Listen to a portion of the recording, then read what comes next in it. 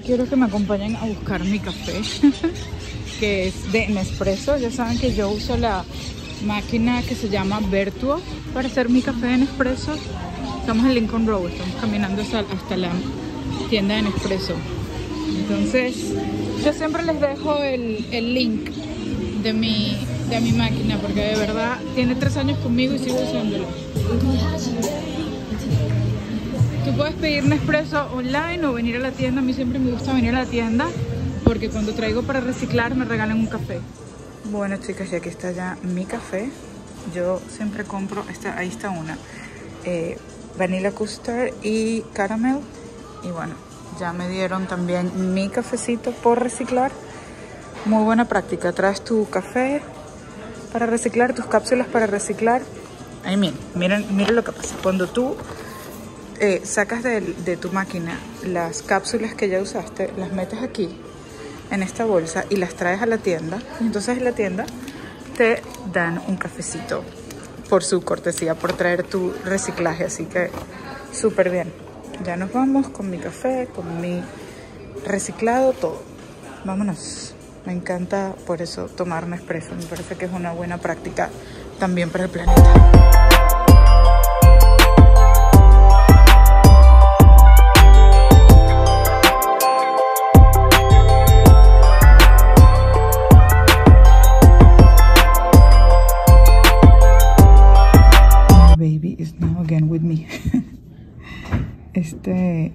Pulsera la traje a servicio porque se me había deformado un poquito, pero lo bueno con estas marcas obviamente es que siempre te dan servicio.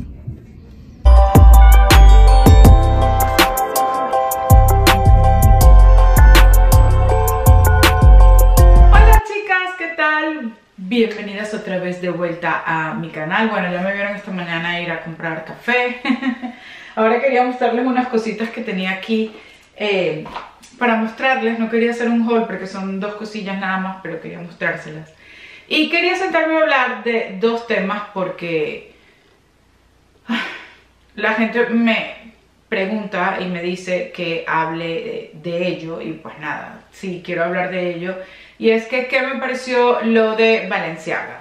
Bueno, ¿qué me pareció lo de Valenciaga? Ya saben eh, lo terrible que ha sido eh, ese tema. A mí por ser mamá de una niña pequeña, pues obviamente me, pega más. Eh, es totalmente reprochable lo que ha hecho Valenciaga. No, además no creo que sea tan excusable, aunque han pedido disculpas. Bueno, pero para empezar desde el principio, para los que no lo sepan, solo se vive debajo de las piedras porque todo el mundo lo sabe. Valenciaga para su campaña de Navidad eh, hizo una campaña con niños que eh, tenían en sus manos em, unos peluches que eh, pues los peluches tenían indumentaria asado. y entonces es una referencia directamente a el sexo que los niños no tienen por qué mostrar. Entonces todo eso pues levantó una crítica muy grande, pero no solamente fue eso, fue todos los objetos que estaban alrededor de los niños en esa campaña había alcohol. Eh, eh, en, otra, en otra imagen donde estaba el niño en su cuarto habían cosas alrededor eh, totalmente cinta, por ejemplo, de, amarrar o un dibujo del diablo, no, sé, todo muy, muy, muy, muy dark, muy, muy, muy dark. No solamente eran las referencias sexuales, eran, eran además estas otras referencias de, cosas que no tienen nada que ver con los niños, como el alcohol, como el sado, como el demonio. No, nada de eso tiene que ver con los niños y los niños son sagrados. Hay un mundo horrible de pedos y no quiero decir la palabra completa porque ya saben que entonces YouTube te desmonetiza el video o te lo quita, pero hay un mundo horrible detrás de la gente que explota a los niños. Eh, no solo de trabajo, sino sexualmente, que es lo peor. Y para mí es un tema difícil de hablar porque me, no sé, me pega mucho. Es que los niños son sagrados, los niños, ¿quién se puede meter con un niño? O sea, ¿qué enfermo tienes que ser? Entonces hay, hay muchas tendencias eh, actualmente de que se normalice que los niños sean usados como referencias de este tipo y eso no está bien, no está bien.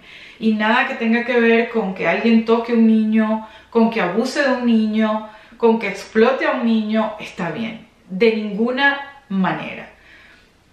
Entonces Valenciaga se ha disculpado ya unas dos, tres veces. Eh, pero en verdad yo creo que hay cosas que no tienen excusa. Lo siento, esta es una de ellas. Todo el mundo tiene derecho a equivocarse, pero esto no fue un error. O sea, las campañas, miren, yo que soy una micro influencer, porque la verdad que yo tengo un público reducido, o sea, yo tengo que enviar los videos a las marcas que trabajan conmigo para que me aprueben el contenido. Tú me vas a decir, que Valenciaga no sabía que su director creativo había contratado un fotógrafo para que hiciera este tipo de fotos con estos productos, con, o sea, eso tiene que pasar por mil filtros para que se apruebe una campaña. Y no solo eso, sino que después de que ya la campaña está aprobada, tiene que ir a la web, a las redes sociales, a imprimirse, o sea, todo eso nadie lo vio. Nadie vio eso ni qué incorrecto era antes de que pasara por todos esos filtros. De verdad, Valenciaga, no insulten nuestra inteligencia diciendo que es que no, se dieron cuenta. I'm sorry. O que van a demandar al fotógrafo, o que van a demandar a la empresa de publicidad. No, todo eso va aprobado. Entonces es terrible, lamentable, y yo espero que esto no se olvide solo para que... Eh, para que se coja conciencia de que Valenciaga tiene mucho tiempo empujando el límite, ¿no? porque ellos son transgresores, porque son, eh, les gusta ver la manera, la moda de otra manera, por eso sacan crocs con tacones, o bolsas que, bolsos de cuero que son imitación a las bolsas de basura, o los eh, sneakers que parecen de mendigo, ok. Todo eso está bien si tú quieres dar una estética diferente, transgresora, pero con los niños, por favor, no te metas. O sea, todo tiene un límite y el director creativo y los ejecutivos de Valenciaga pasaron ese límite. Y ahora creo que no hay vuelta atrás. Yo, por ejemplo, no tengo nada de Valenciaga, la verdad que yo soy una persona bastante clásica. Nunca me ha gustado el estilo de Valenciaga moderno, el estilo del Valenciaga, de Cristóbal Valenciaga, del español que creó la marca, que fundó la marca, eso es otra cosa. O sea, él era un genio, o sea, eh, Christian Dior lo decía, él es el mejor de todos y todos los demás vamos por detrás de él. Así de bueno era. Coco Chanel también lo, lo decía, que, él era el, la persona, la que inventaba, el novedoso, el, el, el, que cortaba, el que todo, el que lo hacía todo. Entonces yo no sé qué le parecerá a Cristóbal Valenciaga, que, que ahí en su tumba revolviéndose, que vea que, que su marca está asociada ahora al abuso de niños. ¿Qué es eso?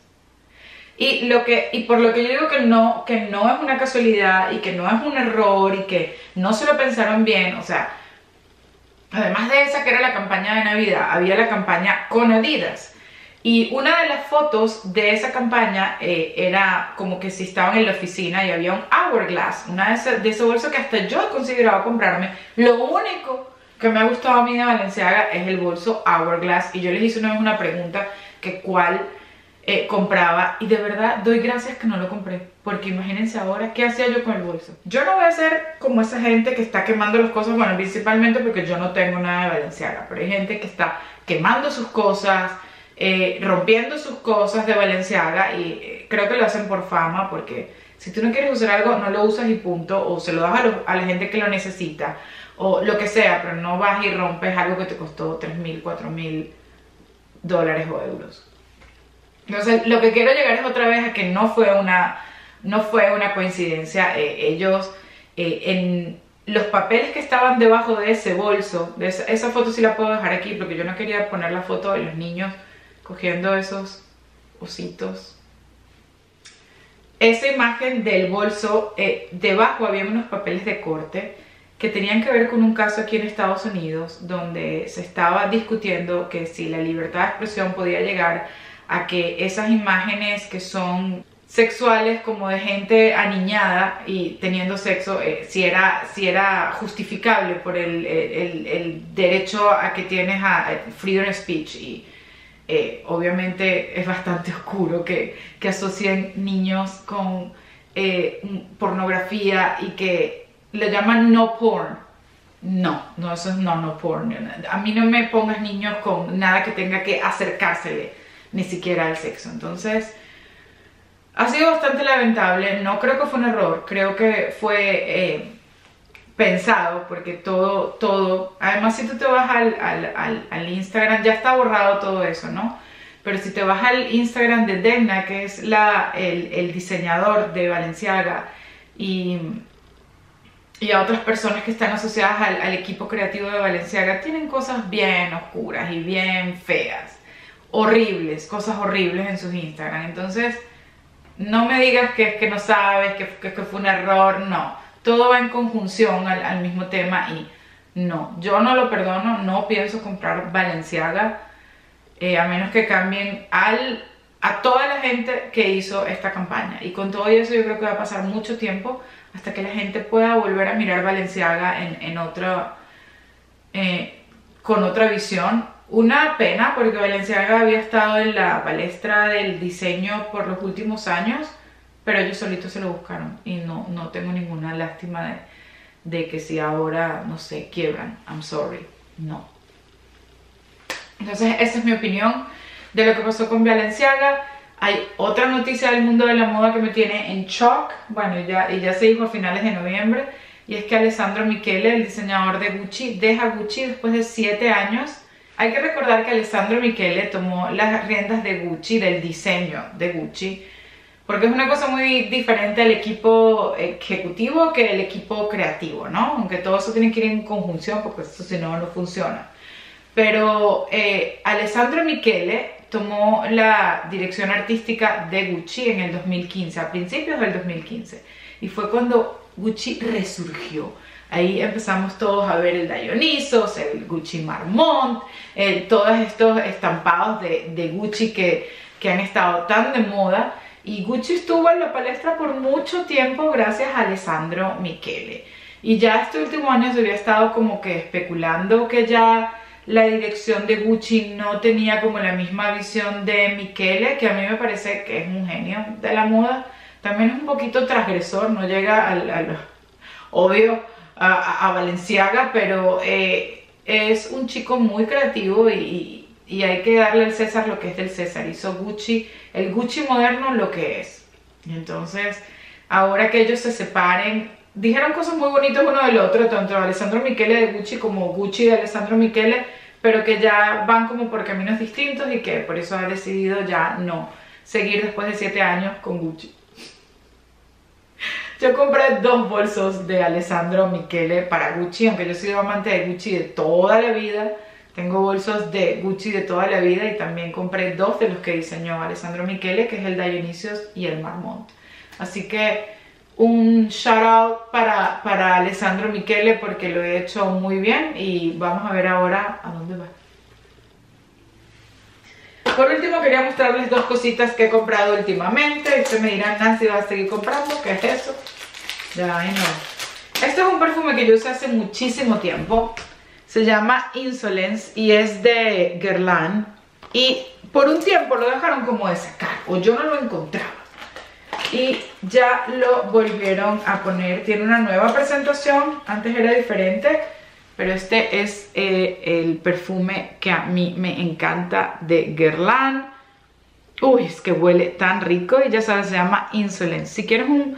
No es una fragancia así como suavecita, no, no es, pero si te gusta los olores más fuertes, yo no sé ni, qué es, ni qué es, de verdad debería haberlo buscado. Si lo encuentro lo pongo por aquí abajo cuáles son las notas que tiene este perfume, para mí me encanta.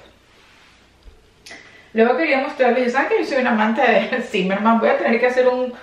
Hace poco les hice un video de un haul de Zimmerman que tenía dos vestidos nuevos y eh, ahora tuvieron sale y entonces compré este short. No tenía ninguna, bueno, bermuda de, de uh, Zimmerman y como me gusta tanto su diseño decidí voy a ir a comprarla. Y a mí también le compré algo. Ay, tengo que traerlo. Miren el detalle, por favor. Díganme que esto no está hermoso. Viene con este eh, cinturón que yo creo que puedo usar para otras cosas y es de lino. y la caída es como siempre hermosa, ya saben. Zimmerman tiene unas cosas preciosas. Déjenme buscar lo que les compré a mía también. A veces me digo, estoy creando un monstruo. Porque yo la llevo conmigo a las tiendas. Entonces ella ha crecido como viendo la moda. Bueno, espero que le guste la moda como su mamá. Pero ¿qué le compré a Mía en Zimmerman? Pues le compré una falda. Miren qué belleza. Ya saben que Zimmerman no es para nada barato. Esto costaba 160 y creo que quedó en 100, 110, 120, creo. Pero está muy, muy linda y a mi muñeca le gustó mucho. Así que se la tuve que comprar porque le encantó. Ah, por cierto, ¿qué tal este look?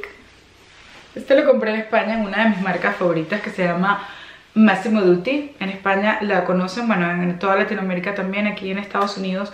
Aquí en Miami no hay Massimo Dutti, gracias a Dios, porque si no gastaría yo mucho más ahí. Pero bueno, me encantó esta camisa blanca, creo que la camisa blanca ya saben es un básico.